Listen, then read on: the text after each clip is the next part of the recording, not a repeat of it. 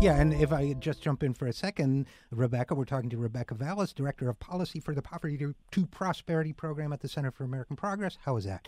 Um, uh, the the the uh, the problem, of course, there is that they're talking about reducing the deficit as if Social Security, for one, contributed to the deficit, which, as you know and I know, it is forbidden to do by law. That's exactly right, and that's that's one of those talking points that is very fact free. Oh, Social Security is driving the deficit; it's driving the debt. Um, by law, it cannot add a penny to the deficit or to the debt. Something that they would rather us not know.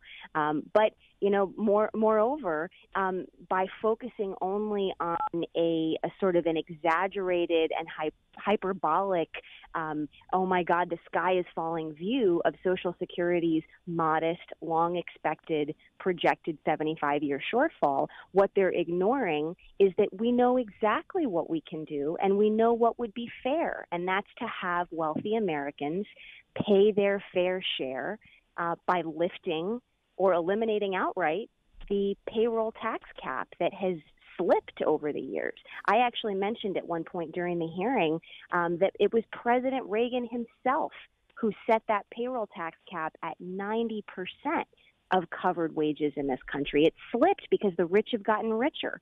And we've got more and more millionaires and billionaires having their wages escape that payroll tax cap and they stop paying into social security just a couple days into the year while the rest of us pay all year long.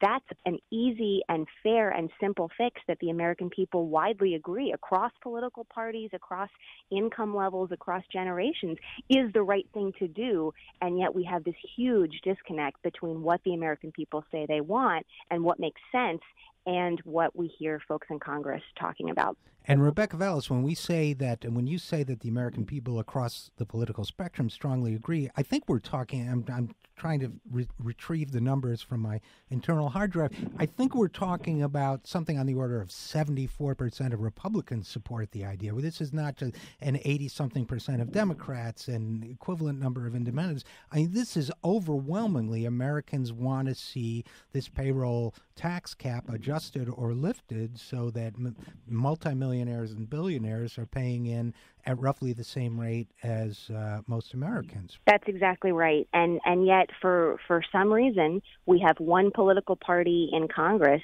not even listening to their own base on this and really instead I think listening to the donor class which is that you know top share of really ultra wealthy people in this country who who are the ones who maybe don't agree with the rest of Americans.